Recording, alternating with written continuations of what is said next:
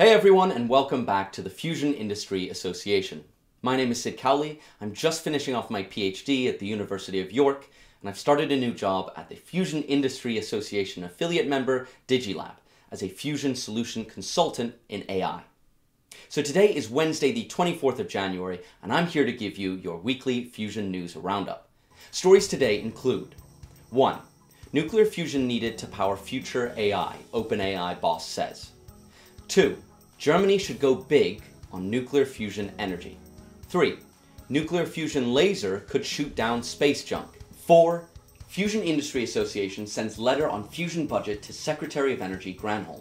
And of course, as always, I'll have some bonuses at the end. 1.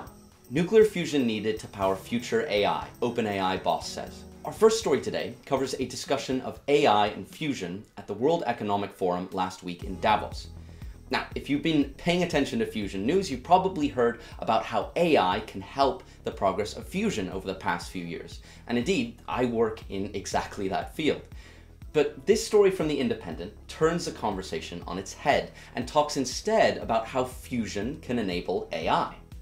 So at Davos, the CEO of OpenAI and the creator of ChatGPT, Sam Altman, discussed the intense power requirements that large language models such as ChatGPT are going to need in the future. Currently, ChatGPT handles hundreds of millions of queries per day, consuming the same amount of power as 33,000 US homes. So if large, data-heavy machine learning models and these large language models are going to become more pervasive in everyday life, Sam argues there's no way to meet the electricity demand without some energy breakthrough. According to Sam, that motivates us to go invest more in fusion. And Sam is backing up his sentiments with action. He has personally invested 375 million US dollars in the fusion company and FIA member Helion Energy.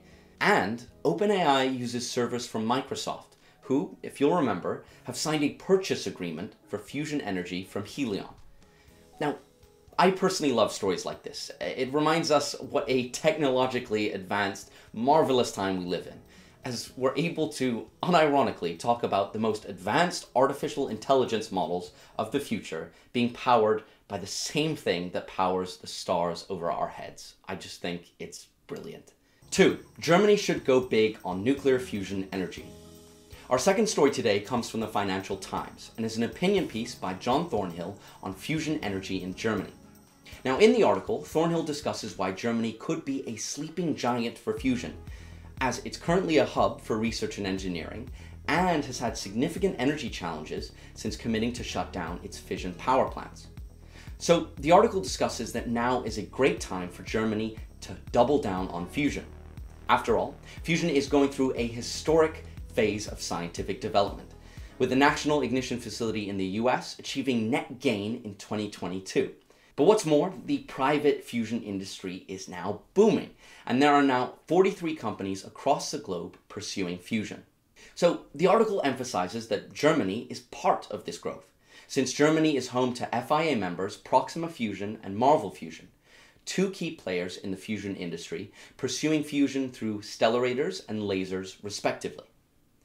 Now, last September, you might remember that the German government also promised to invest 1 billion euros over the next five years in fusion.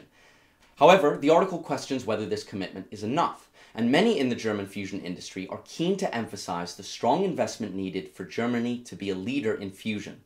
For example, Proxima says it would need 500 million euros to finance the construction of a Stellarator power plant. Moreover, the COO of Marvel Fusion, Heike Freund, doubts whether the current level of funding is enough to compete with other countries, stating, The Americans set a mission of 10 years and then do everything they can to reach for it. So overall, the article raises a very good point. Germany is now one of the leaders in fusion, but will it continue to be as other countries massively step up their efforts? 3. Nuclear fusion laser could shoot down space junk. So our next story comes from The Independent, though it kind of sounds like it came straight out of a science fiction novel. But it's real, I swear. It focuses on the Japanese company and FIA member EX-Fusion, founded in 2021 with the aim of developing lasers for inertial fusion and other industrial applications. And it turns out one of these applications is the handling of space debris, an increasingly dangerous problem. There are roughly 100 trillion pieces of satellites orbiting the planet, and this massive amounts of debris could damage other satellites or hinder future rocket launches. And one of the potential solutions to this issue of space junk is to use lasers to locate and then move the pieces of debris, sometimes referred to as a laser broom. Sounds great, but how does it work?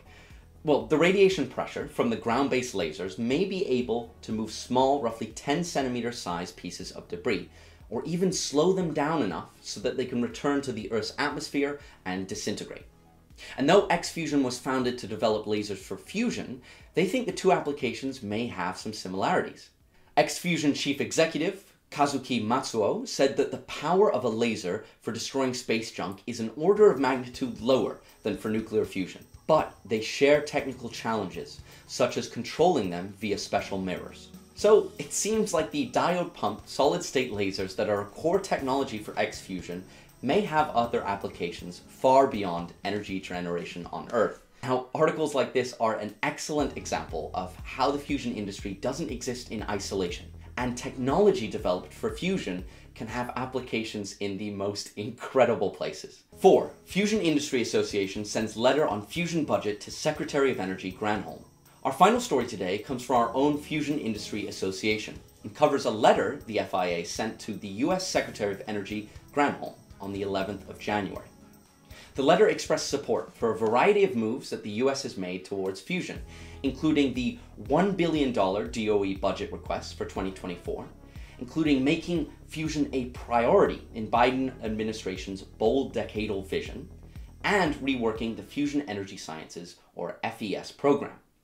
However, the letter also highlights that more urgency is needed if commercial fusion is to be achieved in the coming decade. Also, there needs to be more effort from the US if it needs to stay a leader in fusion. In the letter, Andrew Holland said that the US, historically a leader, risks losing ground without strategic investments and a sense of urgency to meet this moment. Leadership from the DOE is pivotal in guiding the FES program's transition to align with the private sector and close these technological gaps for a decadal timeline. Right, well that's all for our main stories today. For our first bonus, we've got news from STEP, or the Spherical Tokamak for Energy Production, the UK government's fusion pilot plant. And the news is that STEP has had permission from a local district council for the first temporary building to be developed on site. To me, this is a really exciting piece of news because it marks the beginning of STEP transitioning from a purely theoretical and design project to an actual site with actual buildings infrastructure, and presence. For our second bonus today, we've got the announcement of the Fusion Industry Association Annual Policy Conference. So this conference will take place from March 20th to 21st this year and will be held in Washington, D.C. The conference is a great opportunity for representatives from the government, science, and industry to come together and discuss pathways to fusion commercialization. Early registration for the conference ends in February. Right, well that's all for Fusion News this week. Thanks so much as always for watching. Uh, we really appreciate the support on these videos. And of course, if you want to know anything further about any of the videos discussed, the links will be in the description. That's it. See you next time.